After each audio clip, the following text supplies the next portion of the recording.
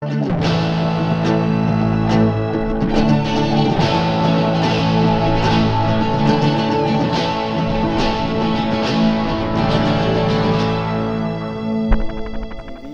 internet Hey broadcasts. Central, this is Jonathan man. Felton. I've been And I'm part Alex of Front Pierce Central with an since elective the update very from the beginning, school. three years now. The and new it's been awesome. and video production been awesome, studios and we'd have like been to see completed what you here have at to Central. offer. And Yeah, these so will be sure to sign definitely up for offer video an awesome productions elective and broadcast opportunity communications for too. anyone I'm Alex wishing to Pierce. join. And I'm Jonathan Yeah, Felton both the for video Front and productions Central. and broadcast See you communications next studios year. courses offer a high-tech experience without leaving stole your line Central when I said or your normal academic schedule. In the video production class, students learn video and film production techniques related to both digital editing and videography. Also, the course offers a hands-on experience in designing, filming, and editing your own projects throughout the semester.